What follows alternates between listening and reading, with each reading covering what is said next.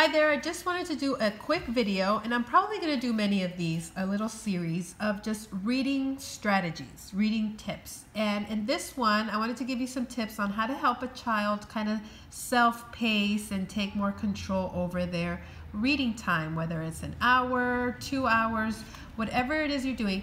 One way that you can help uh, your child to not have to be so dependent on you, asking you how much more do I need to read, how much longer, how many pages today, is at the beginning of the book.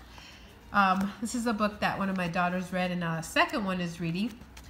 See how many pages at the beginning. This is actually two books in one and this is an RC title, but they're reading this first one. So see how many pages are in the book and then see how long the chapters are you know, and talk about it realistically how much they can read in one sitting. And whatever pages that is, is, is it by chapter? Is it by half a chapter? Take some sticky notes and place them at the stopping points. So this one is about half a chapter a day because the chapters are a little bit longer that she decided she wanted to do.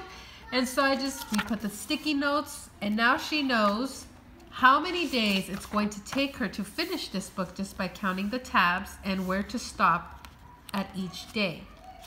So this really helps them to know that there is a stopping point, where they're going to stop, how long it's going to take them to get through the book.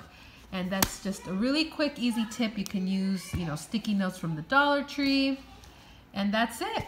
Just a quick, easy little tip on how to help your children um, with reading strategies. I'll do more videos like this if you guys like. Please give the video a thumbs up if you'd like that, and I'll see you in another video. Bye.